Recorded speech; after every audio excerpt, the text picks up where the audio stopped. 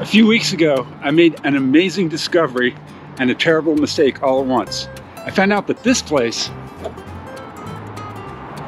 sells kids' toys.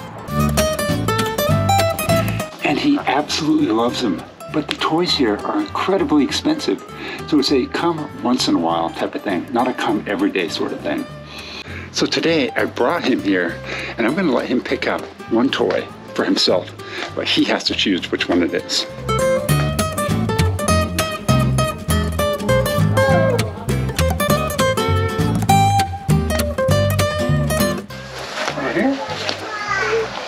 Guys? That one? Yeah? Wanna play this one?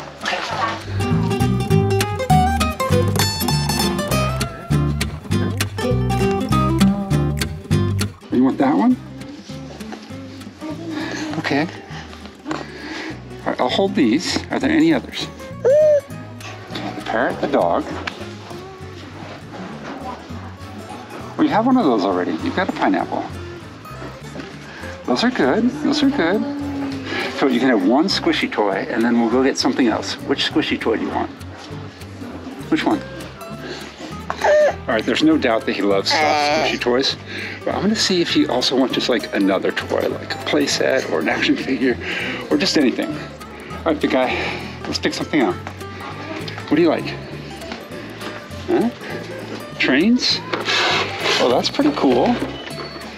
Like that one? Yeah? Another dump truck? Okay. Anything else? Anything else? Benton? You would like that. You're gonna pick one. Which one would it be? Would you like this or would you like this? You're gonna get the pineapple. What do you want? What do you want? You want that one? The dump truck? Okay, we'll get the dump truck. He's made his selections. I feel like in this case, as long as there's three or fewer toys, it rounds down to one, so perfect.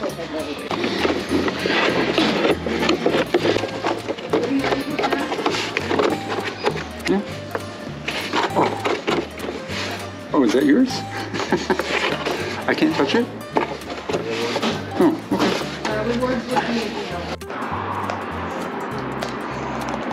Right, well, I'd definitely say that was a success. Wouldn't you, big guy? Yeah, I don't know why. I actually thought it would come out to one toy exactly.